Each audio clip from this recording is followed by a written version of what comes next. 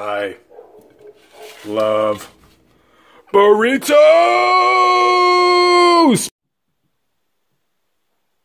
What's going on? Hashtag Burritos Nation. Tonight we are absolutely, positively cashing in on an oldie belt. The belt I already had, but I've never actually done a solo belt video on it before because before I did it actually with another title that I did a double belt video.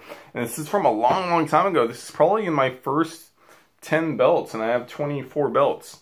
And uh, so yeah, we're just gonna go ahead and do this. It, it's man, it's just a very legendary belt. One of the belts that has the most prestige in all of wrestling history. Honestly, it is in fact the NWA World's Heavyweight Championship, baby, replica belt.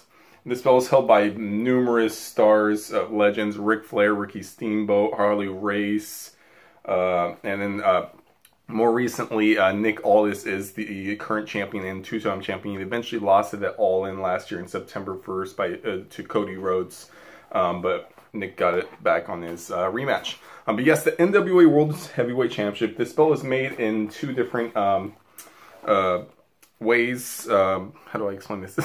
Figures Inc. Obviously, Figs Inc. That does a lot of the WWE belts as well as Premier uh, Belts does this too. I have the Premier version. I don't know if you can see that, but there's the Premier version right here.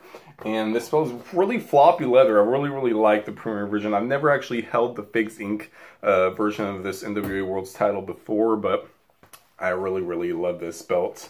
And I should actually, I should wear this a lot more often than I do. I mean, honestly, this belt is a beautiful belt. And if I'm being honest, it's probably within my, maybe not top five, but but it's in my top 10 definitely of my uh, most beautiful belts. It is a smaller belt, definitely not 10 pounds like the real belt is. The 10 pounds of gold is a lot of times they call it, but it's a beautiful belt. But anyways, we're going to go and get into a little bit of the details here. We got ourselves a 2 by 2, 4, 6, a 2 by 6 on the snaps on this side. And then on this side we have 2, 4, wait, 2, four, and then two by six again over here. The same exactly over here. I know some belts are different. Um, but yep, here's the leather on the back with the screws.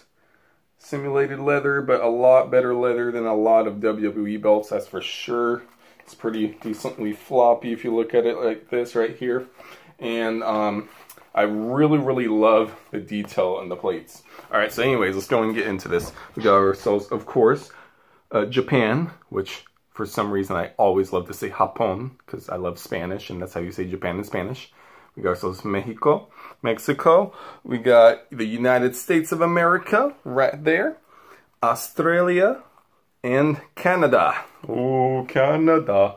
All right, and right here you have the the little globe right here. As you can see, it's, it's 4 milliliter, milliliter plate, so about normal. Um, but you can see the globe pops out, which is one of the coolest things I've ever seen in the belt, honestly.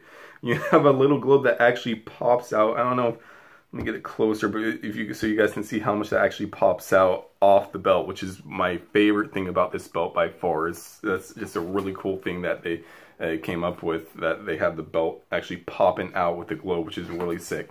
All right, so obviously the NWA is the National Wrestling Alliance, and um, just just just a beautiful belt. We got ourselves a nameplate right here. If I ever want to put a nameplate on it, I thought about getting Cody. Maybe I will someday, but it's not an actual um, nameplate that you can actually take off. So I might just have to get some stickers that say Cody. I think maybe the Figs Inc version of this belt maybe have an actual nameplate. I'm not completely sure.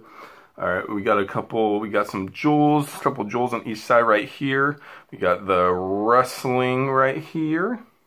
I'm reading that right, right? Yeah. and then World's Heavyweight Champion. I really like how this one's a little different where it's not World Heavyweight Champion, but there's actually an S on it. World's Heavyweight Champion. And this just by far one of, if not the most prestigious belt of all time. Obviously, it's not as uh, popular nowadays as the I am really happy though that the National Wrestling Alliance is actually it got bought out and is actually um, making a comeback now. And they're not that big of a company yet but I really hope that they thrive and uh, do a lot cool things. Have some big matches with Nick Aldis because I know he had the championship for like 270 days before Cody finally beat him yes there's my belt right here I love it. This is going to be a short review video, but I just wanted to go ahead and make a small video for you guys right here. The NWA World's Heavyweight Championship. Here it is on the shoulder right here, like that.